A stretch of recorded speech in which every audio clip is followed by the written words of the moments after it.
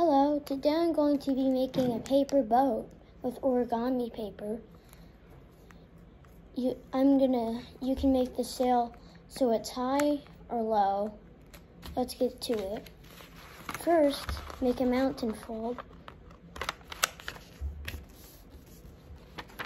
Then, turn it and make another mountain fold.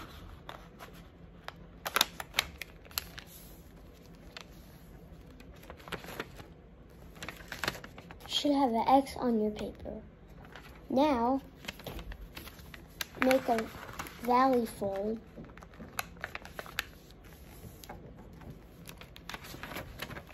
Then, turn it and make another valley fold.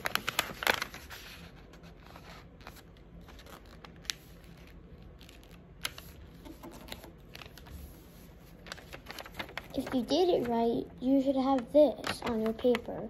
If you didn't, retry.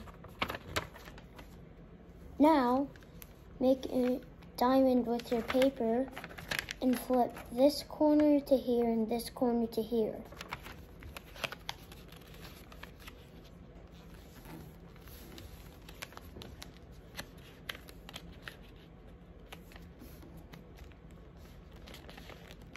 Like this.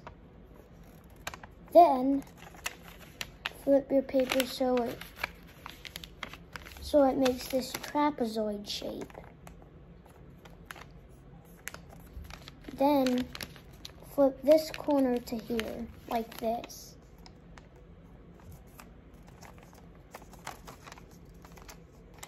And do it with this one too.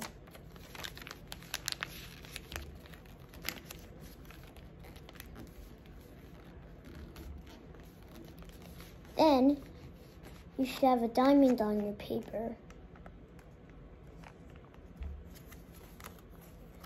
We're gonna, next, we're gonna flip this to here.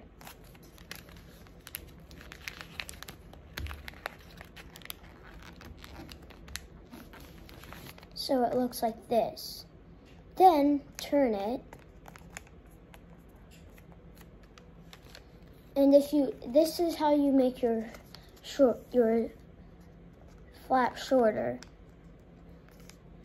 First, bend it down. Then bend not all of it up, but just a little. Then it should look like this. If you don't want your flap like that, just keep it like this. Then you made yourself a boat. Bye.